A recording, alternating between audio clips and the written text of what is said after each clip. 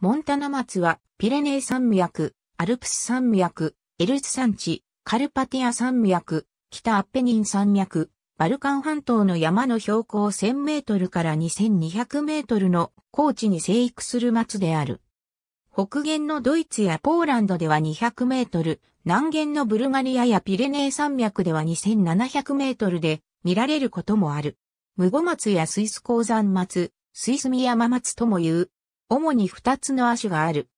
フランスの標高2200メートルの地域に生える P、ムゴサブスプ、アンジノタ西アルプスや北カルパティアでは、二つの亜種は後半に交雑して交雑種ロツンダタを作る。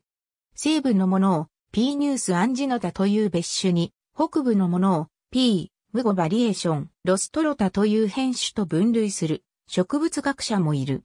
どちらの亜種も能力色の針のような3から7センチメートルの体の葉をつける。松笠は2.5から5.5センチメートルの茶色で、サブスプ、無語では薄い鱗片で対象型であり、艶がない。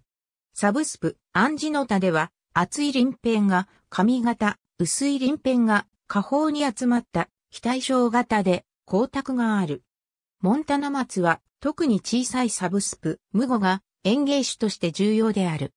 また、防犯の目的でも家庭に植えられることがあり、特に北アメリカでは、神秘的な観点と合わせて、柵や壁の代わり用いられる。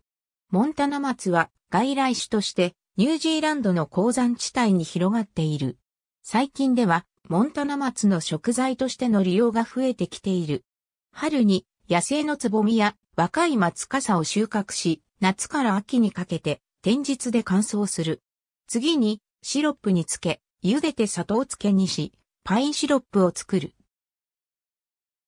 ありがとうございます。